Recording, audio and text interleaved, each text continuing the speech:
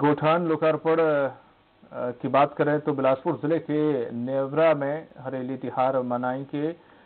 नेवरा में सभा को संबोधित करते हुए नेवरा के सभा स्थल को हरेली गाँव का शक्ल दिया गया है और गाँव के पारंपरिक खेल और छत्तीसगढ़ी व्यंजन की खुशबू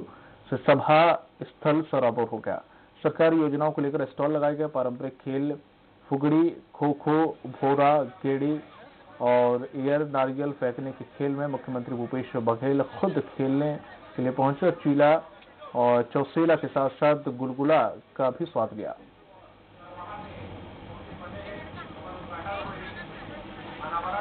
हाँ हाँ हाँ।